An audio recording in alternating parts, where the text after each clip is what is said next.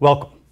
Chronic shoulder issues go hand in hand with cumulative trauma disorder, poor posture, rounded shoulder. Understand that when we're in this position, texting, typing, writing, looking down, driving, you're narrowing in the joint. You're pronating the shoulders forward, giving the joint less space to function and work. Therefore, the tendons, the ligaments, the tissues, as well as the bursa, which runs underneath the tendon, particularly the subacromial bursa, becomes inflamed and irritated on. What happens is when the shoulder starts to dysfunction or start to uh, break down, a very common area starts to compromise or compensate. It's where the deltoids attach into. It's called the deltoid tuberosity.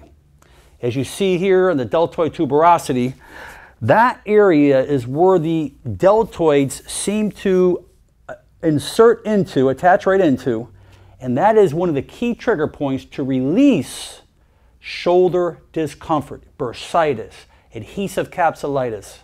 Those issues with your shoulder, any problem, by the way, with your shoulder, I would always try this technique first or along with what you're doing before you do anything invasive.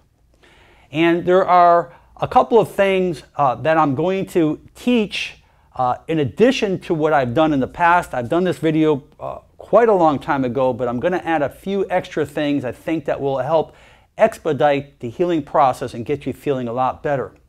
Uh, most important thing is locating the deltoid tuberosity. The deltoid tuberosity, as you see on this picture right here, you can see that area, uh, which is right here, it comes and it fans into this area, it attaches right here. That is the area that we're going to contact. Okay, so what you're going to do is you're going to take your thumb and put it underneath the arm like this.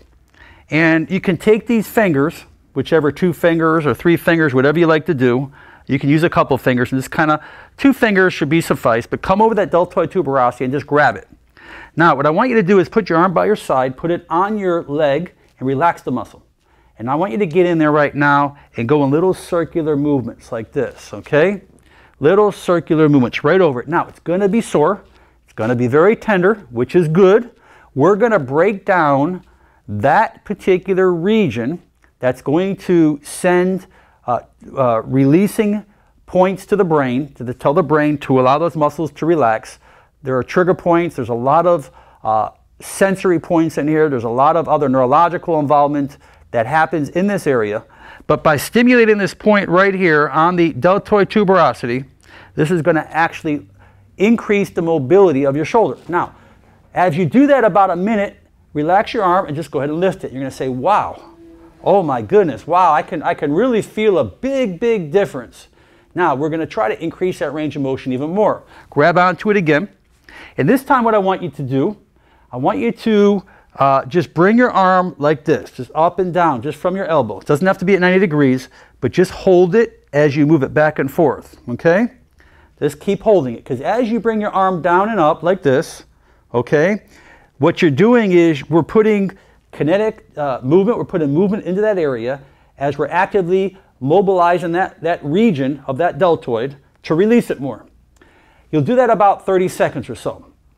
Now what I want you to do I want you to uh, take your, your, put it by your side, and I want you to do the action of the deltoid. The action of the deltoid is to just abduct it like this. So I want you to hold on to that area, hold it tight, and just abduct it. Now when you abduct it to the top, just put a little more pressure right in that area. Just hold on to that area. Good. So now we're actively using it. These are the specific muscles of the deltoid. Okay, now understand if you have a lot of pain, bursitis, frozen shoulder, you may not be able to come this high. You may be able to come this high. That's okay. Just go this high if you had to. I want you to move it as much as you can because now we're trying to increase mobility. We're trying to tell the brain, hey, listen, we're trying to trick the brain to release this muscle to, so we can get more increased mobility. Beautiful. Now after you drop it, now go ahead and raise your arm up. You'll feel a tremendous difference. A lot of you may not even be able to put your arm over your head, but even after that technique, immediately many of you will say, wow, I can almost put it completely up over my head, and I haven't been able to do that in, I cannot remember. So do that technique, that deltoid release, deltoid tuberosity release. It's a great safe technique, a way to increase mobility back into the shoulder because when you have any shoulder pathology, the worst thing we can do is nothing. When that thing stay, stays frozen, big problems. So share this video with others. Leave your comments below. There are thousands of people who read these comments. I ask you to subscribe if you haven't so you can continue to receive the best of the self-help videos here on the internet. And most important, make it a great day. I'm Dr. Alan Mandell.